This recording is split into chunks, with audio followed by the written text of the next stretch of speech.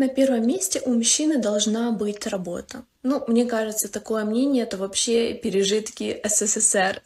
Я из обычной среднестатистической семьи, и я помню, как мои родители мне раньше говорили, «Диана, вот ты так много требуешь внимания от мальчика, когда же ему работать? Он же будет бедный, если будет э, только с тобой гулять, у него не будет времени на работу».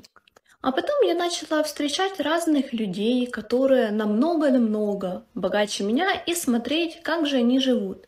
И оказалось, что зарабатывать очень большие деньги можно лежа на диване, работая онлайн всего лишь 2-3 часа в сутки. Вот так. То есть я такого не ожидала. Я думала, чтобы много зарабатывать, нужно либо на заводе с утра до ночи, да, работать, либо же быть каким-то мега-бизнесменом, который э, вот э, круглосуточно ездит на какие-то встречи и решает какие-то вопросики.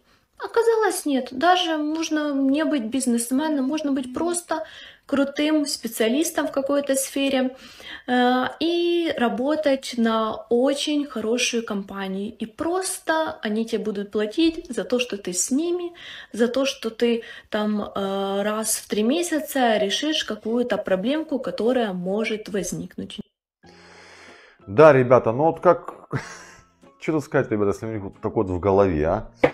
Всем здорово, Саныч на связи. Вот ключевой момент, говорит, я, говорит, посмотрела, как люди живут, типа, да, и поняла. Вот это, это вот к тем э, комрадам, которые, типа, вот я там девственницу возьму, типа, там, да, вот непорочную всю, типа, там, да, филиппинку привезу, ёпта, типа, к себе сюда.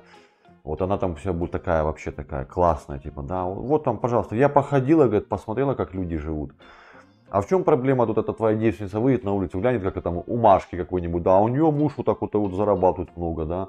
А у нее мужа хер 28 сантиметров. А почему у тебя не такой? А вот я походила, посмотрела, ёпта, и все. Ребята, если вы думаете взять девственницу и воспитать ее под себя, ни хера не получится. Она походит, посмотрит по рынку. А у нас рынок, ребята, отношений, да, вот, э, в обществе. То есть она ходит, вот, оленя покупай, вот покупай. Причем покупай за бесплатно, и он тебе еще платить будет, ребята. О, парадокс какой интересный в обществе у нас, да.